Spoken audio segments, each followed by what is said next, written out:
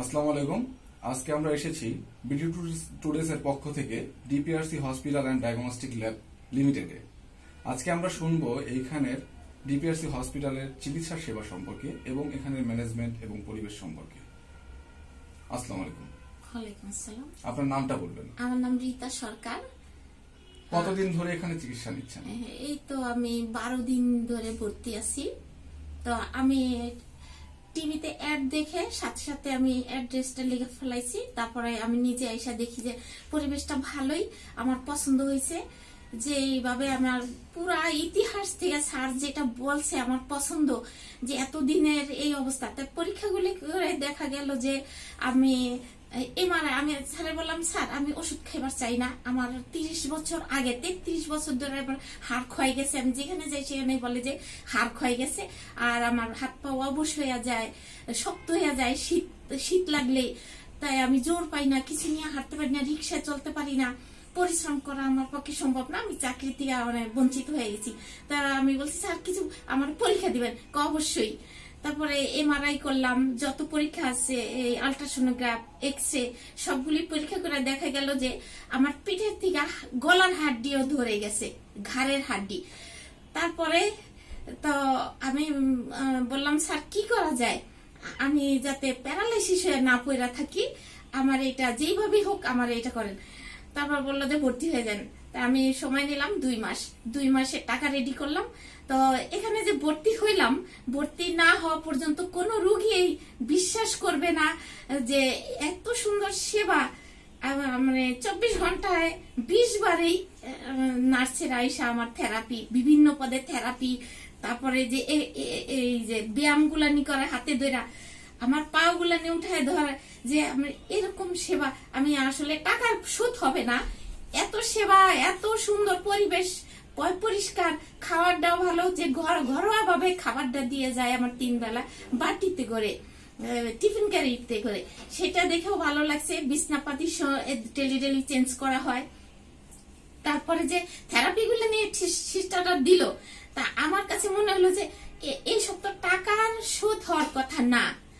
আচ্ছা আপা, আমি একটা জিনিস জিজ্ঞাসা করতে চাচ্ছি সেটা হচ্ছে আসলে মূল কি আপনি টেলিভিশন বা অন্য কোথা থেকে কি আপনি ইনফরমেশনটা পেয়েছেন? মানে কোথা থেকে পেয়েছেন? এই যে ডিপিআরসি হসপিটাল নামের একটা হসপিটাল আছে।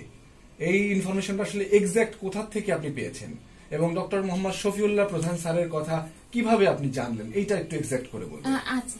আমি টিভিতে প্রোগ্রাম দেখে তার সাক্ষাতে যত কথা শুনছি আমি সব সময় শুনতে শুনতে, তারপর আমি নিজে বের হয়ে এই যে এখানে নিজেই চলে আসলাম। আরও মানুষে বলল যে হ্যাঁ ভালো জায়গায় আসছো।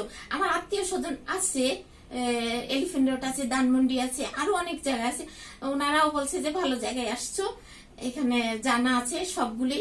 আর মেশিন ভালো আমি তাই তো প্রমাণ পাইলাম কিন্তু যে ভর্তি হবে সেই বুঝবে যে আসলে সত্যি।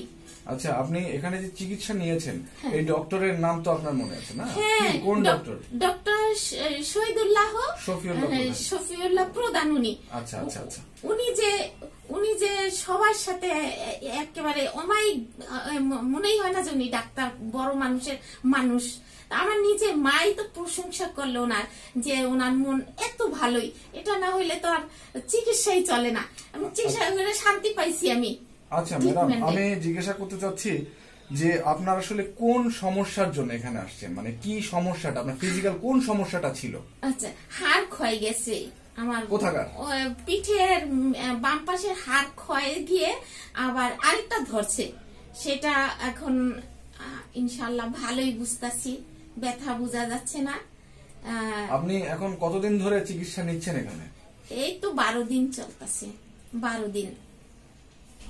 আচ্ছা।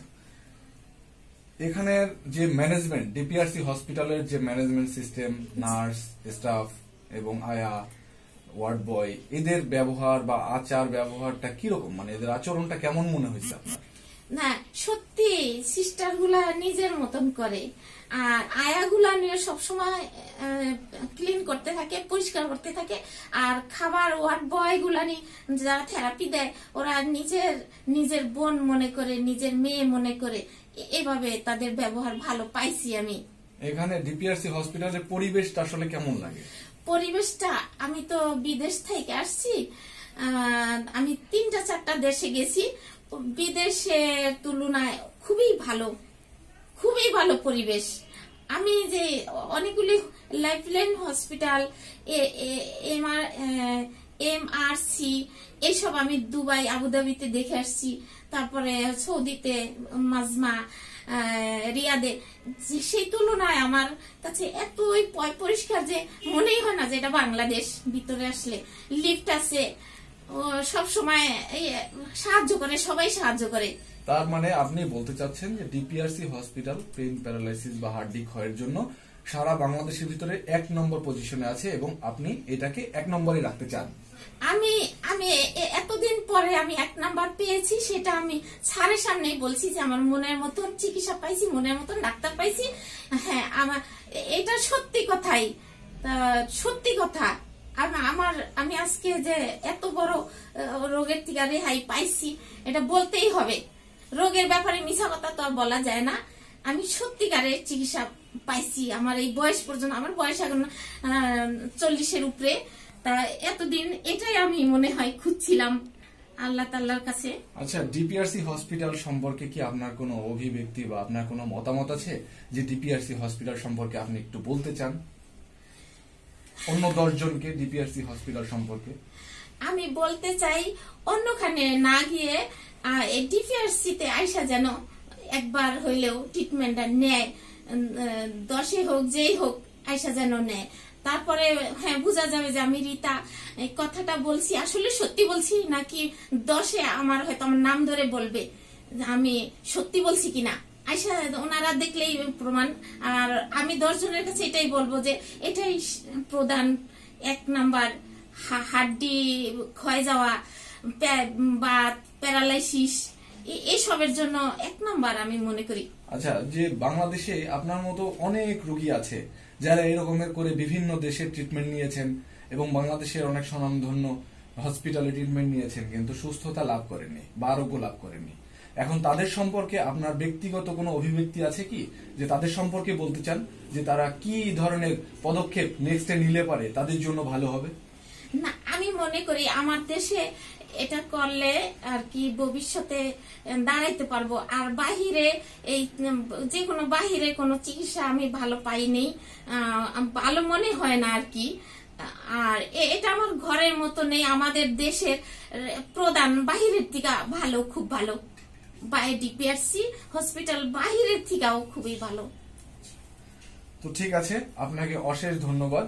আমাদের আমিও আমিও ডিপিএসসি হসপিটালের প্রতি আমি সবার কাছে আমি কৃতজ্ঞ রইলাম।